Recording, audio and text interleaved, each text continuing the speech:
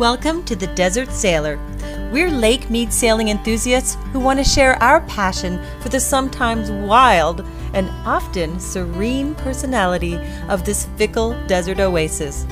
We're based out of the Lake Mead Marina and hope to share with you our experiences discovering the many coves, marinas, and destinations this unique sailing experience has to offer. So hop aboard. Let's go sailing in the desert.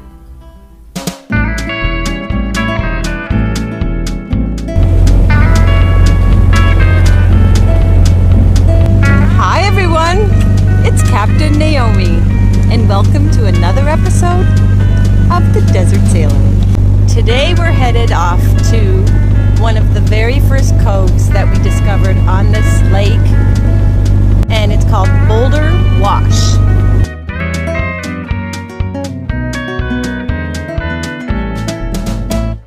The winds are pretty light, even though the forecast said they were going to be a little bit stronger, but that's typical of Lake Mead.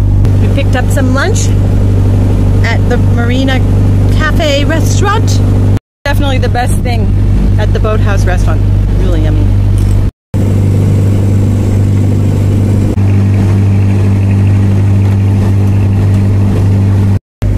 Right there is the entrance to the Hoover Dam. We are passing on the basically east side of Sentinel Island.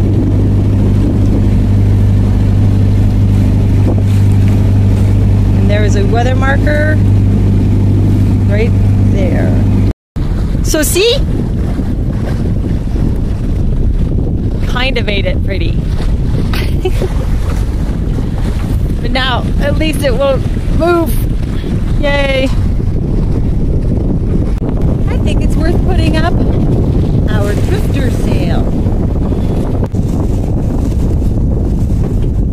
So if you always want to know where your tack, head, and clew are, you put it away in your bag, make sure, this is what I like to do, they're tied together and that they're folded inside the bag so that it's not twisted and then it's way easier to get them. And then you just untie this.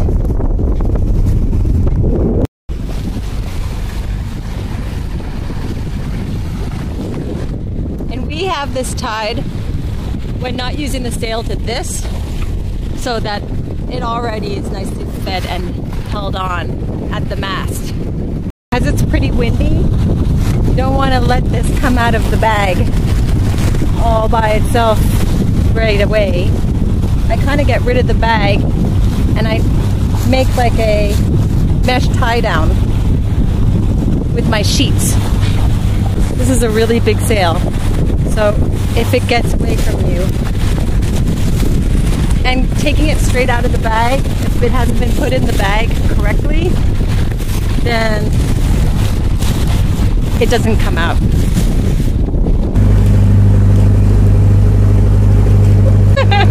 One of my new crew members showed me this new stopper knot that I didn't know of, and it's perfect for this thin sheet that is the sheet on our drifter sail because we were doing like a figure eight on a bite, and uh, so that it would not slip through this fair lead, which is pretty big.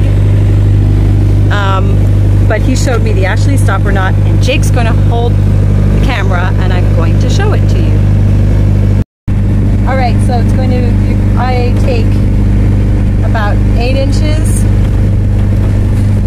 and I say what's called, do a Mickey Mouse ear top and then a reverse Mickey Mouse ear. So now it's like glasses. Then take this Mickey Mouse ear, put it through there and then to not to block it, put the snake, the bitter end through that Mickey Mouse ear.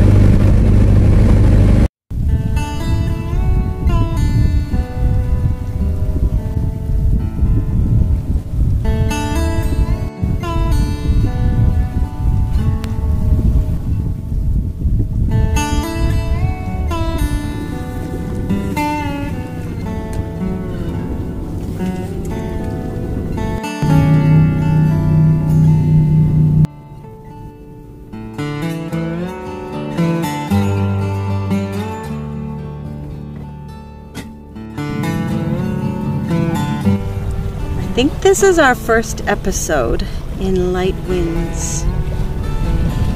And we're going to leave the sails up and go into Boulder Canyon under sail and see what happens because it's coming from the perfect direction. Perfect temperature, and we're still under sail, so that's fun. And we're super relaxed. But that's how you can guesstimate how much time till the sunset. Each finger is 15 minutes.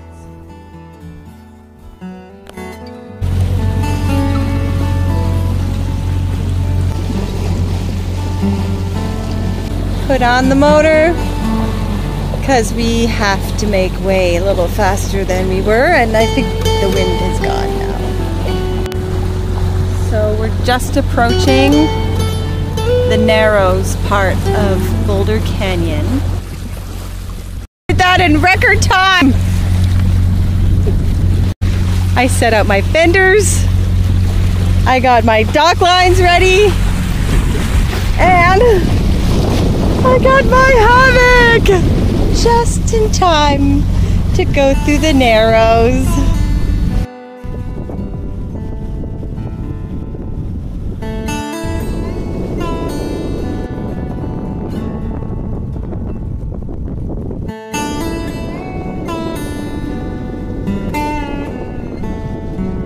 So Boulder Wash, where we're going to be staying overnight, is just as you get outside of this small part of the canyon, which is the Narrows take a left.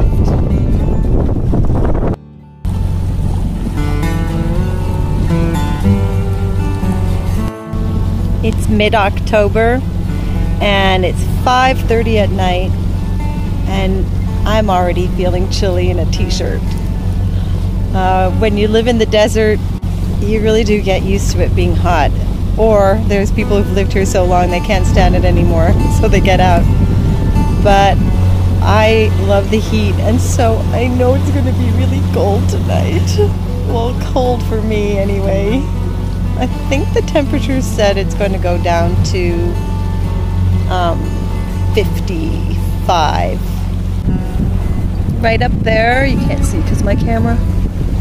Uh, you can see a light. So at night you can see where the entrance is. So if you pass this, you've gone too far. You literally just come out of the Narrows and then it's right around this corner. So the first time we discovered this cove was completely by accident. It was our first overnight on Lake Mead and we weren't quite sure how to anchor on the beaches um, that everybody kept telling us we could do. And then anchoring in the deep water is impossible because it's so so deep. And then so we were coming back from Virgin Basin on our way back. Uh, we spied into this cove and I saw one of these no wake markers, and I've now determined I don't know if it's maybe an over assumption, but that when you see these no wake markers, um, it is maybe an indication that boats like to hang out there. So we approached it, and as we came around the corner, we did see the first poop dock we'd ever seen. And we're like, what the heck is that? And um, we moored up to it, and it was awesome. So, this is actually our third time here at Boulder Wash.